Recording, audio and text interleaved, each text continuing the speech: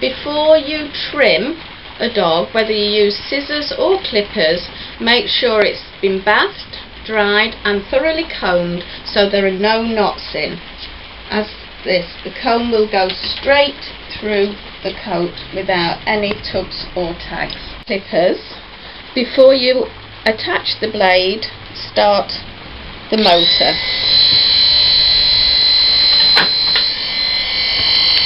Click it in gear and add a comb. The combs come in three different sizes and you can do it depending on how long or short you want your dog. When you put the clipper on the coat, it must be flat with the shape of the comb. If you're just using the clipper blade without a comb, flat like this and goes along the comb and follow the contours of the body. The neck at the top of the head, bring the clipper down and run it along the back as far as the tail. Then, using from the back again, using from the middle of that cut, take out the coat, clippering along at that level, and then straight down the coat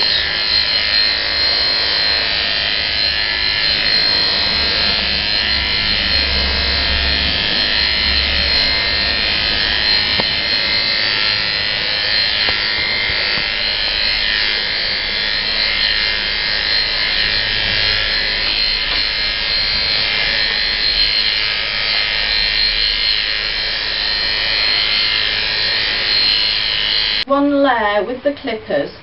Comb the coat through again as more hair comes out and this will stop the clippers becoming clogged with hair. And then do another layer of hair until with the clipper until you've got to the point where you want to stop. The first layer I took on I used a 13mm comb now I'm going to go over it again with a 9mm comb to make it slightly shorter. The comb starting at the top of the head, following straight down the middle to the base top part of the tail.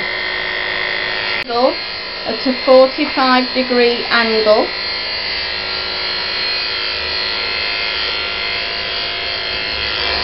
going straight down following the contours of the body. As you can see this is now taking a lot more hair off the dog. The blade number is the same, it's just a different comb size.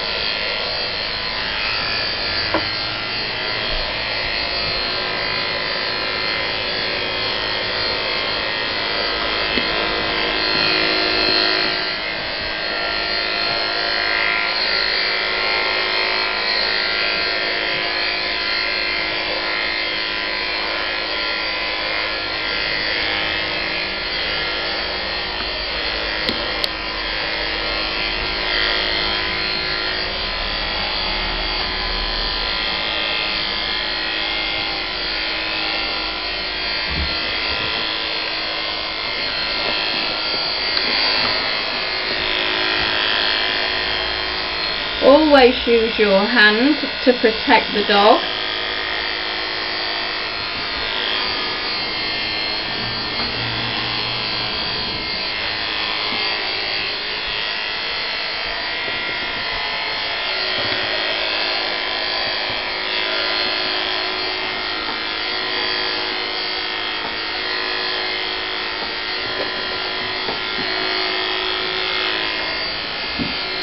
Never cut the hocks off if you prefer to keep them like that. If if you're not showing and you just want a pet trim, you can, but um, I, I prefer for Chloe just to leave her this short.